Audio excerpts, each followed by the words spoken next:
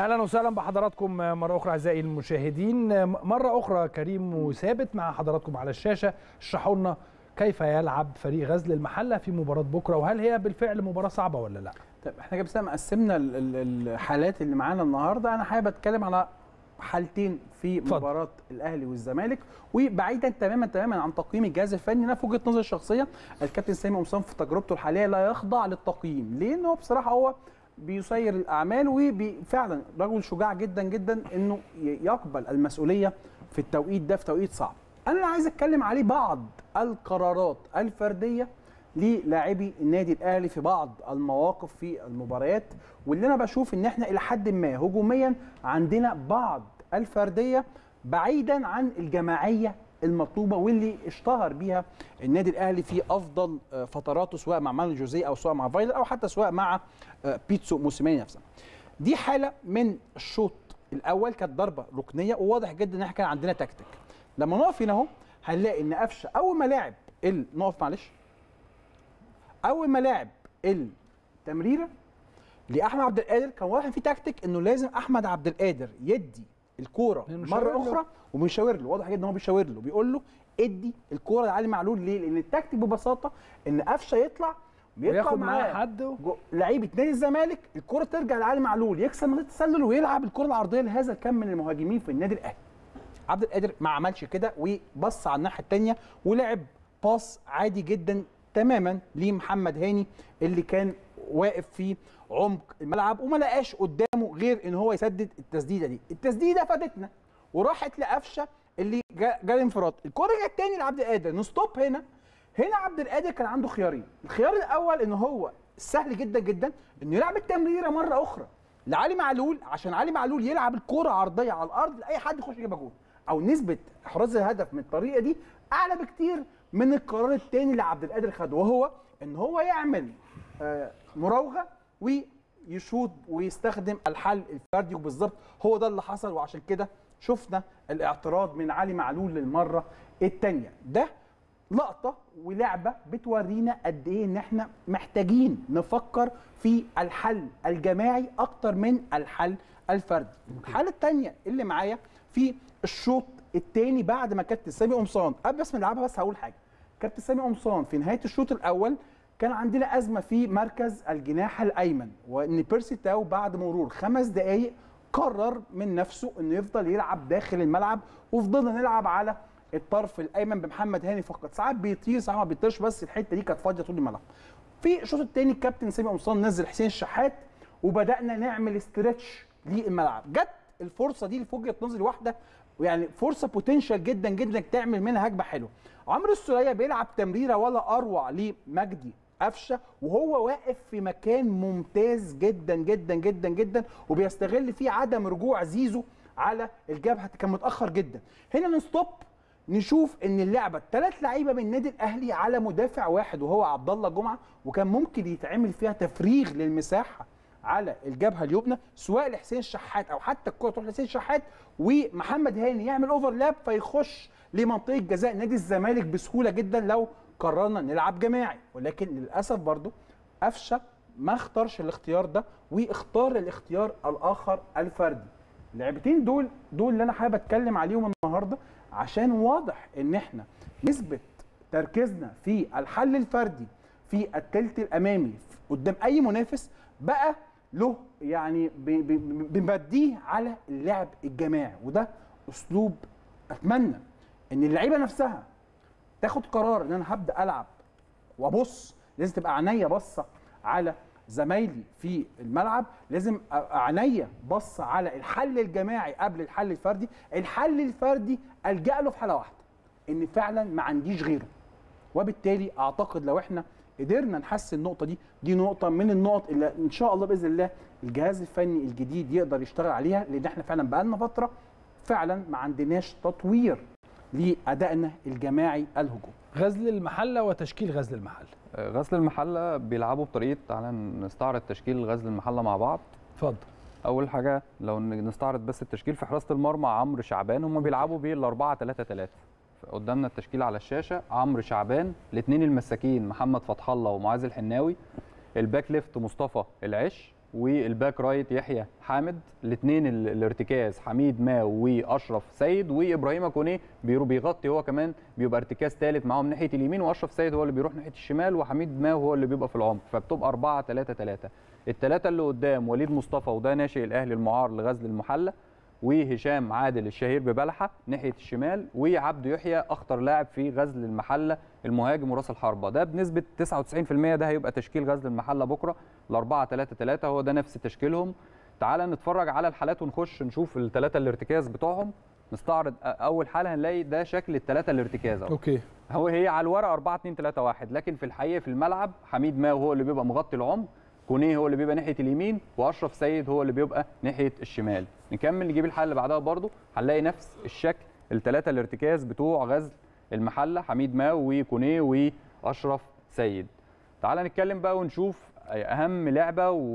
والتكتيك الهجومي والتنظيم الهجومي والخطير بكرة إيه أهم حاجة تحركات عبد يحيى. عبد يحيى هو الراس حربه على على الورق ولكن هو دائم التحرك ناحية الطرف الأيمن في المساحات اللي بتبقى مثلا خلف الظهير الأيسر عند النادي الأهلي. دايما. أوه. بيبقى ناحية اليمين. ارجع الصورة اللي قبلها كده. هتلاقي هو راس حربه ولكن هو بص راس هو متحرك فين؟ عشان يفضي المساحة في العمق اليمين اللي دايما بيبقى قاطع للعمق. هشام عادل اللي هو رقم سبعة بلحة. اللي هو ناحية عبده يحيى بيبقى ناحية اليمين وهشام عادل هو اللي بيبقى جوه قاطع في العمق. الصورة اللي بعدها نفس الشكل. عبده يحيى دايما بيتحرك. اذا لازم نخلي بالنا إن هو دايما بيسقط لتحت عشان يفضي المساحات في ظهر المدافعين اللي هو مثلا نفترض ياسر إبراهيم أو رامي ربيعة أو بدري بنون. أي حد في ظهرهم هو بيسحب المدافعين معاه. نفس الشكل برضه بيتحرك دايما ناحية اليمين عشان يعمل العرضيات. وهنا في انتشار وكثافة عددية جوه. كله بقى إيه المساحة بيستغل المساحة اللي فضاها عبده يحيى مهاجم غزل المحلة. هنا برضو التنظيم الهجومي بتاعهم والشكل.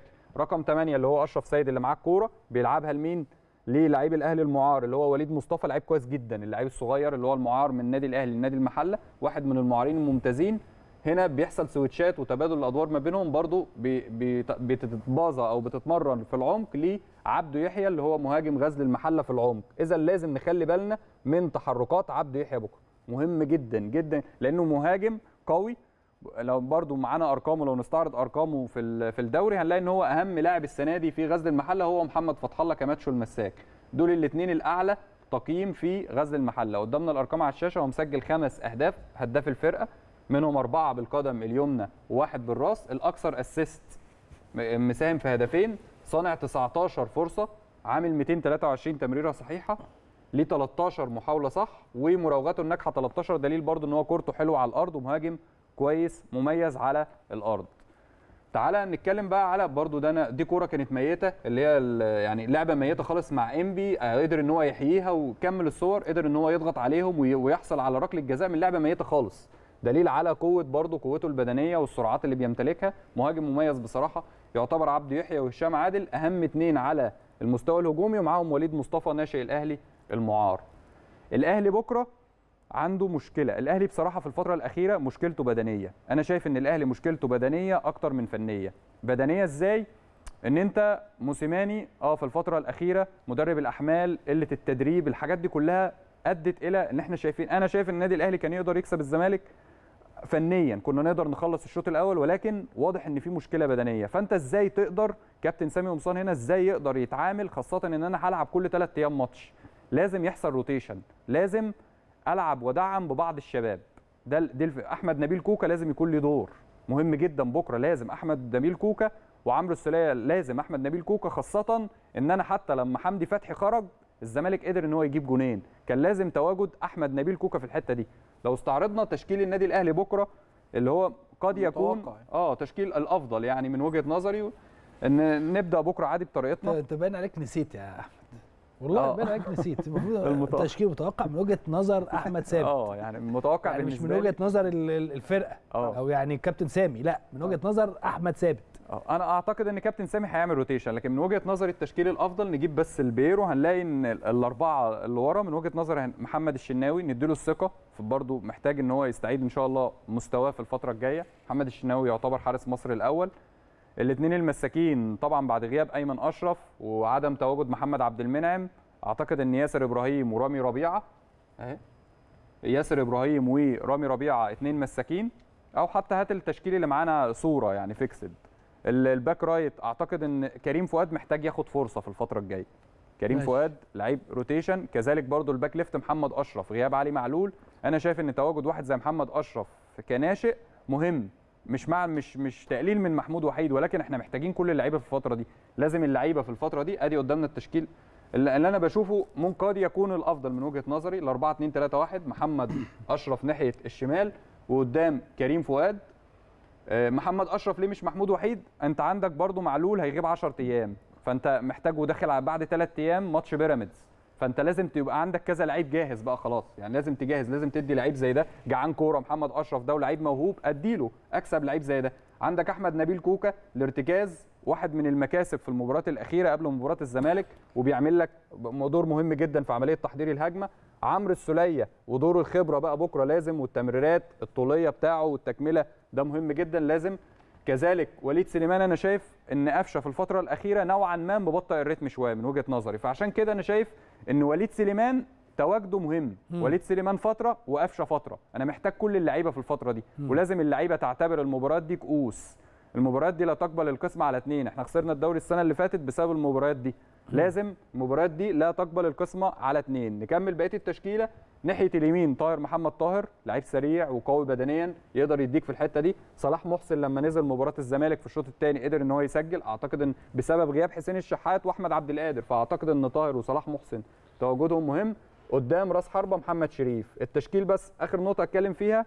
ان أنا عامل rotation بس لازم ال rotation برضو انت محافظ على بعض اللعيبة الأساسية. يعني أنا الشناوي أساسي رامي ربيعة ياسر إبراهيم عمرو السولية طاهر محمد طاهر محمد شريف كل دول وكريم فؤاد. انت بس طعمت ببعض الشباب اللي انت هتديهم فرصة.